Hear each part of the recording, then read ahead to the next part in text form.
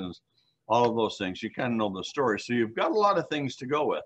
Now, how many people would like, uh, for wherever your age is right now, just let me ask you, if you could continue to age the rate you're going, how many of you would like to live to be 120? Put your hand up. See, not many hands. Uh, but if you could live like you were right now until 120, now would would you like to make it to 120? My hands up, because I would. We have that potential to do that right now. In fact, as researchers are saying, that a child born today should live somewhere between two and 400 years. That's their estimate. These people are not quacks.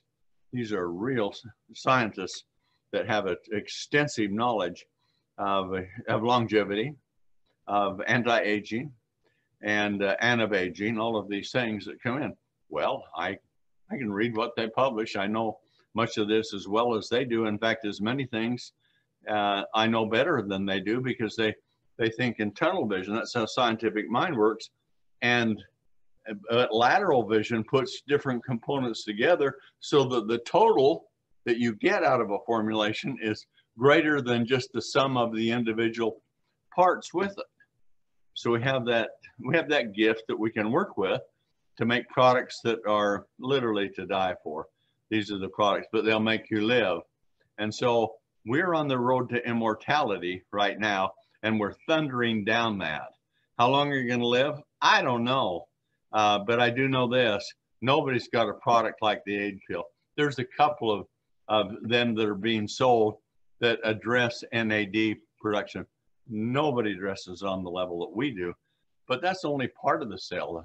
The cell's like a motor, it gets wears out, it gets built up, and your stem cells that are producing all the other cells, they start slowing down with age. So there's a bunch of factors there that take place. Uh, at one time at conception, you were one cell. And what you were is you were a stem cell. But within that, all of the uh, components of your body was created as that cell started to divide.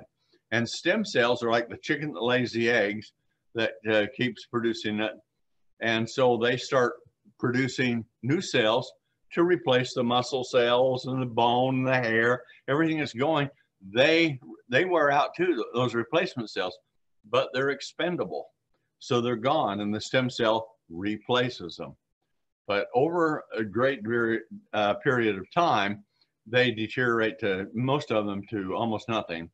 Where your stem cell activity, if you're in your 70s, is usually somewhere two to five percent. That's it.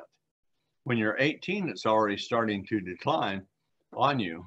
When you get 50, you've got about 75% of your stem cells that were there and building you when you're 20. 75% of them are dormant, and the others are in rapid decline because you're headed for the potential of dying an average age. But things are changing in our society. For the third or fourth consecutive year in a row, the average age, average lifespan has gone down year after year after year. I believe it's this this one is four years that it's done that.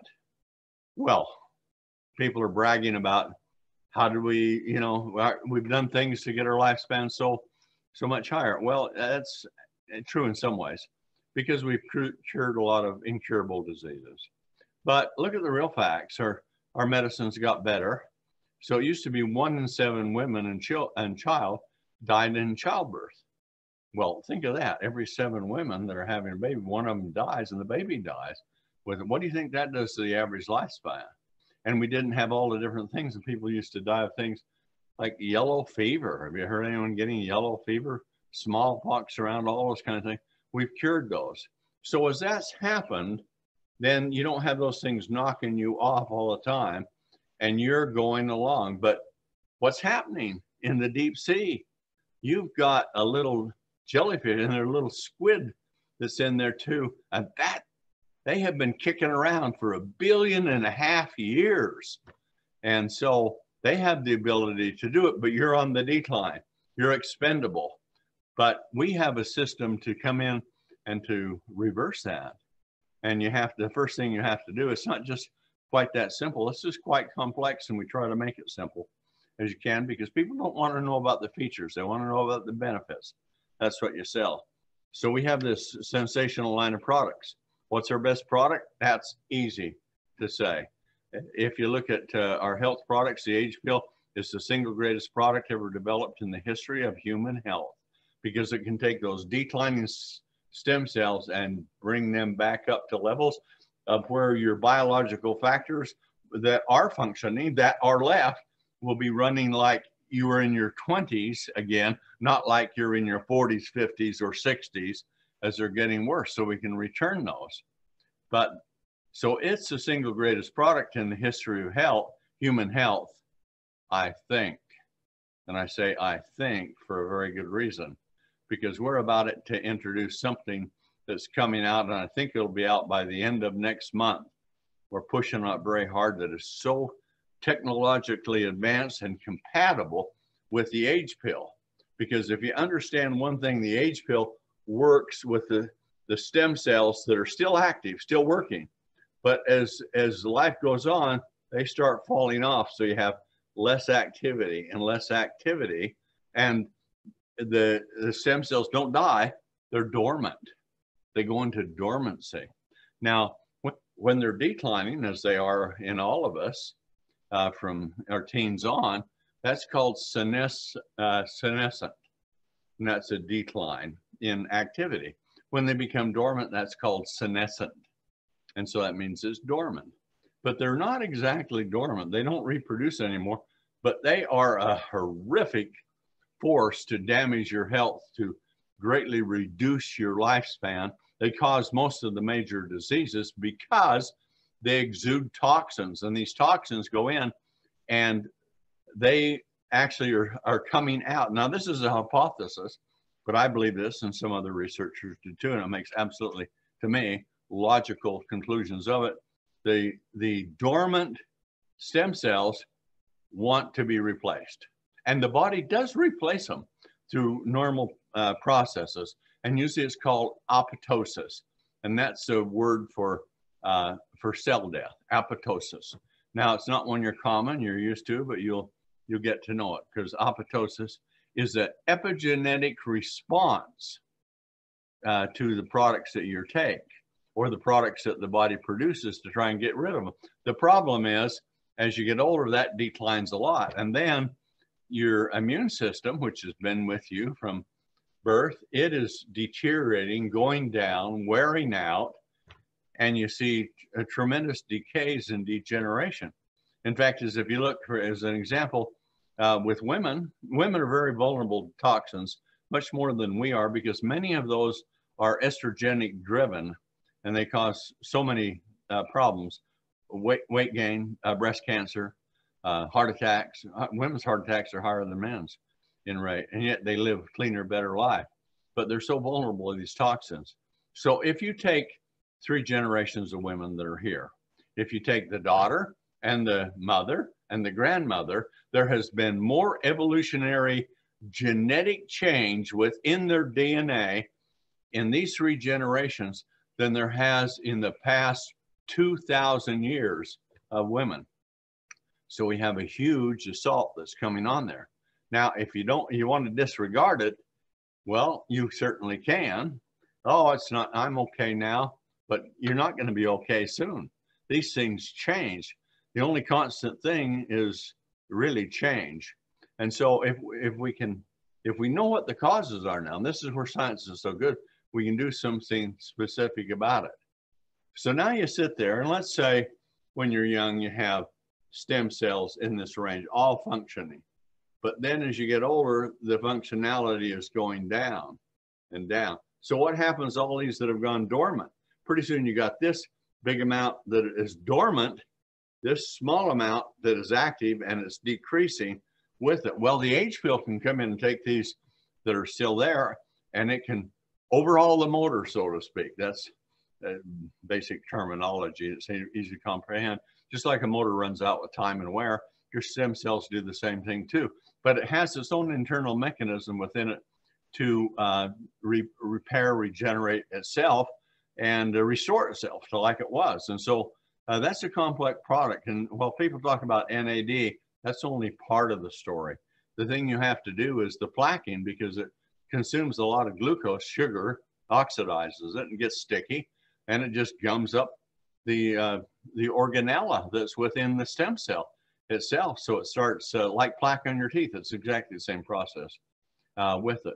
Then the other thing is since stem cells will put out millions of cells uh, in their lifetime, many of these, and when that happens, uh, of course they start wearing out and go and things uh, they have taken a lot of nutrients, produce and they divide, taking all those nutrients to a set cell, then it divides and goes away, and you're left with what you got you have left and that happens again that happens again.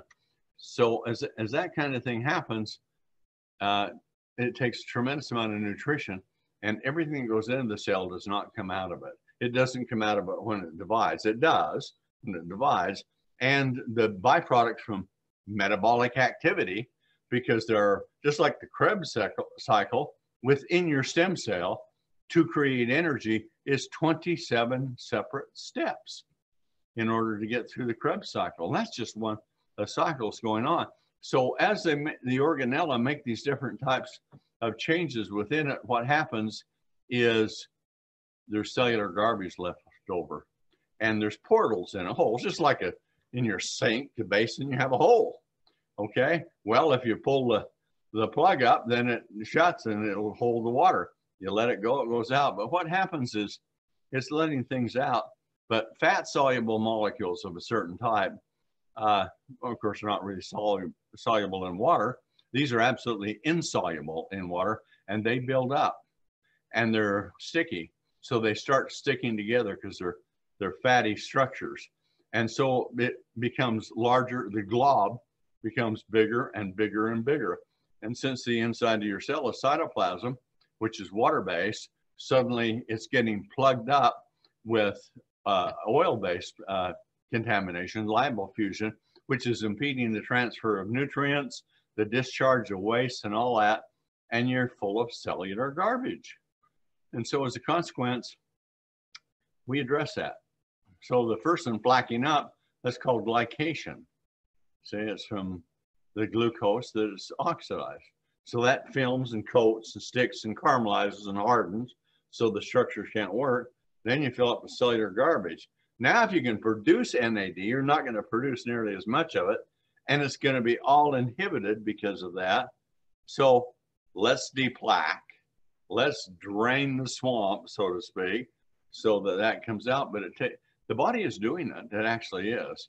But as you as you age, everything goes down, and as a consequence, uh, if you if you uh, give the right nutrients to it. They're like nutraceuticals. There's a process called, which is new to most of you, it's epigenetics. And it's the genetic response in the DNA to the nutrients that are there. So a lot of these things that were virtually science fiction and, and a hypothesis years ago, not many years ago, some of them even three, two or three years ago, are now reality and proven and done. The problem is, uh, in my opinion, uh, those that are trying to do something about it, they're taking a quick fix. They're taking a magic bullet, but there is no magic bullet. You need a number of. There's one maybe that does things the most, but how about the rest of them? You need a lot doing it. And if you do, that's where the total of the effect of the ingredients is greater than the sum of, of them in a given formulation. So we know what the epigenetics are. We know what the nutraceuticals are that have been discovered, that have been done. And that's what we're putting together in it so you can take care of those stem cells. So now let's go back. Here's all the dormant ones. They're exuding these toxins that cause cancer and, and degeneration of your organs, your heart, your lung, your eyes, your muscles, all of that. So they're, they're uh, doing all of those things and they try to attract that immune system to come in and trigger their epigenetic code uh, or, epigen or genetic code with epigenetics, create apoptosis, and down they go. And so uh, the body does that. It has the ability to do it, but we just get we get too deteriorated. Decay uh, aging is nothing. It's not a disease. It's decay and degeneration. If you end decay and you can regenerate more cells and you're losing, you're going to grow younger. Um, but there's a limit because you got so much dormant. So here is what the latest discovery coming out is. It's in a science called senolytics. You'll learn that term maybe. But senolytics is where the ingredients are put for epigenetic contact that will support the body's functions to take those dormant, dead, talk, or not dead, dormant, toxic stem cells that are such a serious health hazard and commits apoptosis. It, it dies and then it, it cleans up with it. But where it came, it's like, uh, I tell people, it's like a rose. If you have a rose garden, you have a lot of beautiful roses in it, but as the season goes on, if you don't do anything with it, pretty soon most of them have lost their, their petals and you only have a few that are there. But if you go out and you snip it off at the bud, it'll grow a brand new rose. This is the same principle that we're talking about here with uh, stem cells that are senescent, dormant. And so we have the ingredients. This is what is so fabulous. This research is being done by one of the major research centers in the world. You would all know them on what they're doing. They found one thing. Well, they found a few others, but they're concentrating on one that which is the best. And, and they're correct for my, my knowledge is it's for the best.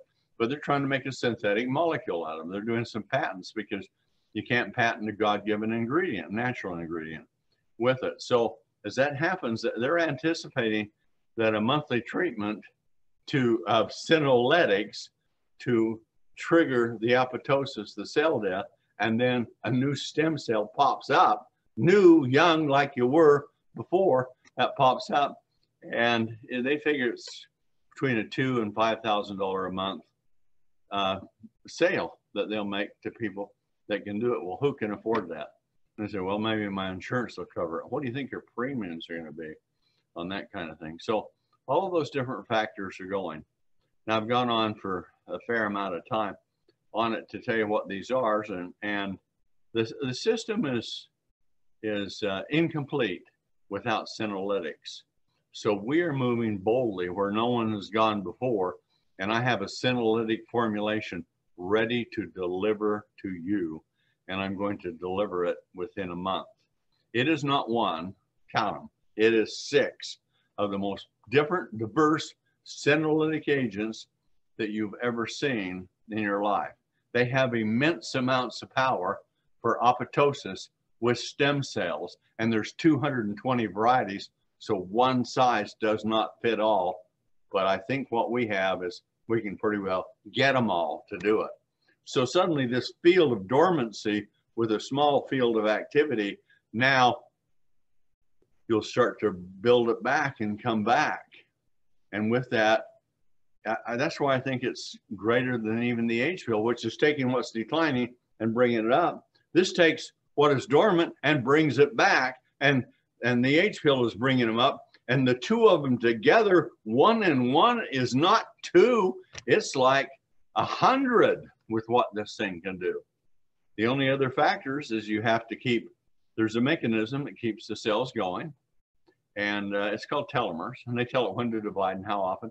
You lose units every time a new cell divides because those telomeres are used for the, for the network to weave the new cell on. So cell, as telomere rates go down, you lose cells. And, and when you lose, uh, you lose cells because it's not telling it to duplicate as often. So that's where TX, TSX comes in because it supports the telomeres to be remain long and, and they calibrate your biological age. Right now they're doing it through telomeres and they say you're born when you're born, you got about 10,000. When you die, you're down between five and 6,000. You lose eight to 10% every, after you're grown, after you get up to about 18 or 20, you lose eight to 10% every 10 years with it. So when of your telomere lengths. So as the time goes, the rate of duplication starts to go down, see? So TSX can come back in. It works through epigenetics too. It works in the stem cells to take them because only stem cells have telomeres on the chromosomes to support the mechanisms to keep them long and dividing all of the time as fast as you want it. So That's the key one. So if you have the age pill, you, you have uh, TSX to support long telomeres, you're, you're, you're supporting the repair with the age pill, you're supporting uh, long telomeres with TSX, and then you bring the senolytics in, and you have the ones that have become dormant through a lifetime of use that are there creating a serious health hazard. Shazam, they're gone. They won't all go like that, but they'll start going, kind of like playing notes on a on a piano. You know, you start you hit so many and you get a certain sound. The more you do it, the more you lose. So if you lost them all, you'd be probably kill you. You'd be uh, very sick, and that's probably there's no science for that. But here's the point. What we have figured out is uh, I've got the formula based on the sciences of their sake. It's been a mind-boggling work to get this down. But now with it, we have it to where if you if you're really taking uh, this product, you're going to see uh, effect that's going to be gradual, getting better, better, better, better, better, better. And so this is going to be an unusual product because I was initially going to call it the bomb because what it does, it works like a bomb. If you drop a bomb, it blows up things, explode, and there's all kind of rubble. Then you got to clean it up. Well, that's the elementary explanation of the mechanism, what it's just done. So as that happens, you'll take uh, some capsules, uh, three. Uh, you'll take those every other day and only one time in the day. You take them all at once and you take them every other day. Now, if you feel it's maybe making you a little queasy, that then take it every third day with it. But I think for most of us, just calculating this, so it's it's a guesstimate, but every other day, a day to bomb, a day to clean up the debris from the apoptosis that these epigenic reactions that cause uh, the cells to deteriorate are cleaned up by the immune system. Bomb it one day, clean it up the next, and you can bomb it again. So you get more and more and more and more, and you start coming back up. These that were dormant will start coming back up. Those that are declining will come up. And pretty soon, east meets west. And what have you got? A new you. In fact, scientists are, are Aubrey de Grey, who's probably the greatest, most knowledgeable one of that, says that um, he sees in the concept that he sees the immortality as possible. I, I see that too. And, and it's not because it's unusual or it's quackery, because it is happening right now. Uh, and there's organisms that live, you can send them into space where everything dies. They come back alive and they continue to function with it. You can put them in uh, the hottest water or fluids and they don't die, they come back. Uh, these things are biologically driven. So now that we have science has approved or improved so much, we're able to find out what they are, determine it, and then see what discoveries have been made uh, on this specific situation. And we just keep the file building and going as we get it. Now we're to the point of where we could have come out with a single product. It ain't enough uh, with our senolytic formulation. It ain't enough with the age pill. It ain't enough with TSX. But put together, we've got complex formulas there to do those three jobs. Now, the only thing that's really left is how was this world created? Do you know there'd be no life on Earth if it wasn't for sun, the sun? And of course, yeah, I think I'm kind of a dummy. I have to tell you that. You know that. I'm not a dummy, but here's the point. What does the sun send down? It sends down sunlight. It sends down ultraviolet light that you can't see. It sends down infrared light that you cannot see and visible light. Uh, all three of them age you, uh, but certain wavelengths, and I won't go through it, but in infrared can actually stimulate skin, hair, a bunch of things like that. But that's that's the energy, and when they come in, they have photons, have hydrogen, and they come down, and chlorophyll in the leaves split that hydrogen off, and it takes it and it makes you've heard of hydrocarbons because there's hydrogen in the carbon. that, that's there. And so what it does is it makes uh, hydrogen-based uh, ingredients that are really the true molecule of life that's there. And hydrogen has enormous power.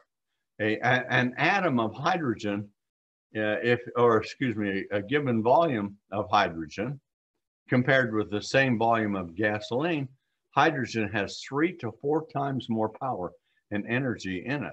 And every cell in your body creates it. Well, doesn't create it. It comes there from the food we eat or supplements that we take. And so we can be depleted because of a variety of things. But here's where the H2 stick comes in.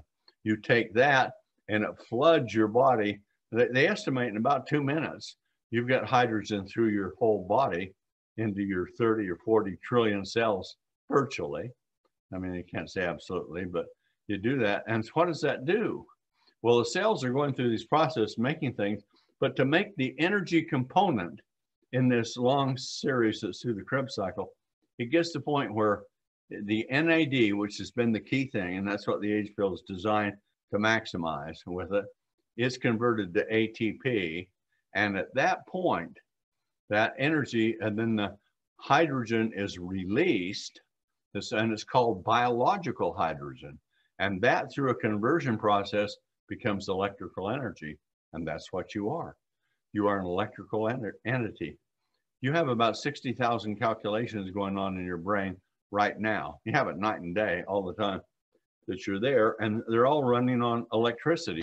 Every cell within your body is connected to every other cell in your body, and it's not just through one network. So far, they found out just over the last one and two years that there are three networks of electronic uh, communication between cells so that when you damage something here, another part of it knows how to respond with that.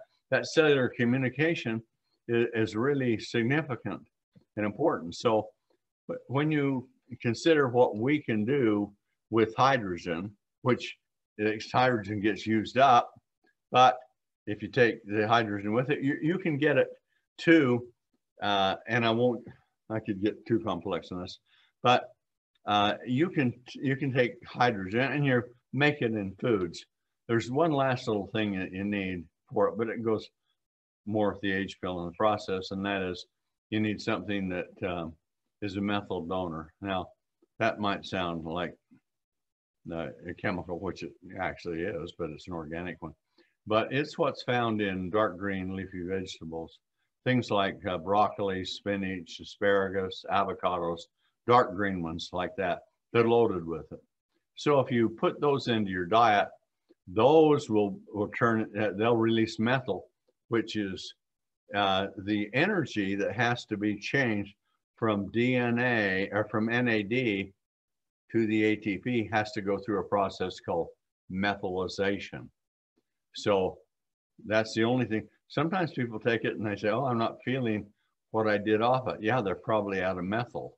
Their methyl reserves get consumed up if you're getting a tremendous amount of NAD being uh, being produced.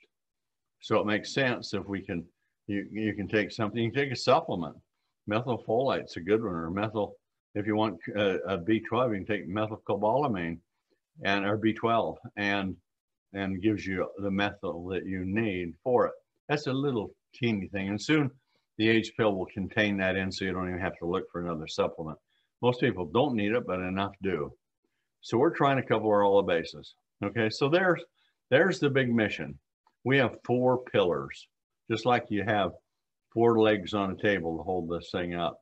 And these four pillars are the age pill, TSX, the senolytic product, and diatomic hydrogen water for doing that. Now there's a lot of other things you can use for, I mean, we got toes, don't we? You got a liver and you got teeth and stomach and all those things, eyes.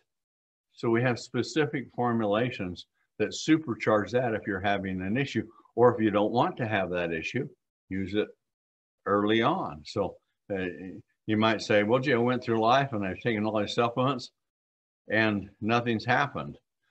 Well, that's kind of a blessing, don't you think? Nothing happened. So now you have a chance for yourself to, if you take your lifespan and I'm sorry I'm going too long. I'm not trying to speed it up. But if you take your lifespan and you realize that how many years have you got left? Have you got 20 years? Okay, well, we think, I think, this is a guesstimate, this is the hypothesis with it, but you see it in animal models where it's working with it, and the mechanisms are the same in all mammals uh, within this, these processes. And we think if you've got 20 years left in your life, and the average lifespan now is down into the mid 70s, okay? Was up in the 80s, now it's down in the mid 70s. But if it, so let's say you were 55 and you had 20 years, you got 20 of the worst years that are coming on that get worse and worse and worse. And what's worse than spending the last five or 10 years in a nursing home where you're batting balloons for entertainment they're changing your diaper and spoon feeding you. Your body has the ability to avoid that. You can sidestep it if you have the right epigenetic compounds that will work with it. So I'm kind of like the uh, the Greyhound uh, bus driver. It said, leave the driving to us. Okay, so I can give you these things. I can tell you enough about them, and you can go out and market them. So with that, you can have great deal of success in your own personal health. How many other people want that? The, the biggest issue you're going to have is people uh, because they're going to, oh, I don't believe that. No, it can't work. And they, they're thinking of the Shazam theory that they'll take an age pill and they'll wake up and they'll be a teenager again. It doesn't work that way. There's a gradual decline over your lifespan and there's a gradual incline that can come back. Just the just the opposite way. If you know what you're doing, you have the things, science has advanced to that point that I believe that is theoretically and practically uh, possible to do.